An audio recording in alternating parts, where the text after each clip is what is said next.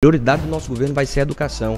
Então a gente vai abrir vaga de creche, a gente vai formar o professor do segundo ano para ensinar a criança a ler e escrever na idade certa, vamos distribuir material da alfabetização. Se acabar com essa história de você, quando precisa de uma cirurgia, ter que ir atrás de um deputado ou de uma deputada. Hoje, para cada policial que você vê na rua, ele está fazendo o papel de três. Eu quero promover na Paraíba a mudança mais profunda possível, porque eu vejo que as pessoas estão passando por um momento muito duro.